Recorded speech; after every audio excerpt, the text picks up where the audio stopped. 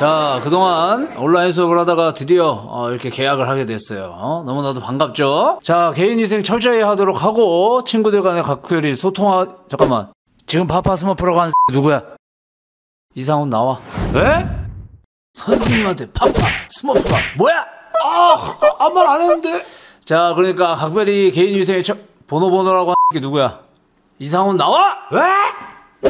아! 아, 나말안 했다고요! 알아, 임마! 아, 근데 나 왜 맞은 거야? 화학 자, 화학 시간입니다.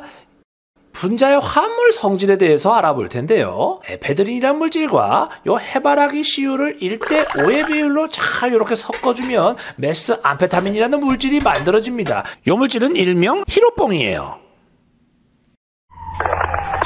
어, 저, 마약 사범 체포했습니다. 마약 사범 체포했습니다. 교생 실습 자, 오늘 우리 반에 특별히 교생 선생님이 오셨다. 와, 예쁘다. 너무 예뻐. 안녕하세요. 반가워요. 선생님 첫사랑 얘기해 주세요. 첫사랑, 첫사랑, 어, 얘들아. 첫사랑, 첫사랑. 내 첫사랑은 죽었어.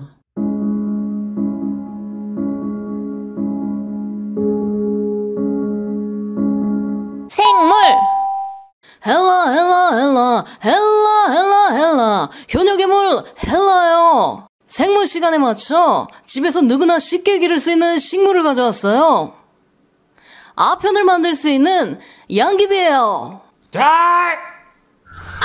마약 사범 한번 더. 잘생겼어. 한번더 체포했습니다. 정례 자, 오늘 첫날이니만큼 소지품 검사를 하겠어요. 다 꺼내봐, 소지품들. 학생으로서 가지고 있지 말아야 될 것들 빨리 꺼내라 말이야. 얼씨구, 어쭈? 이것들 봐라. 어? 야, 이거 딱 가관이구만.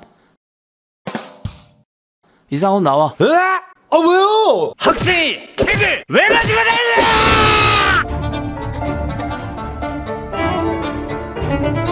이 학교 뭐야?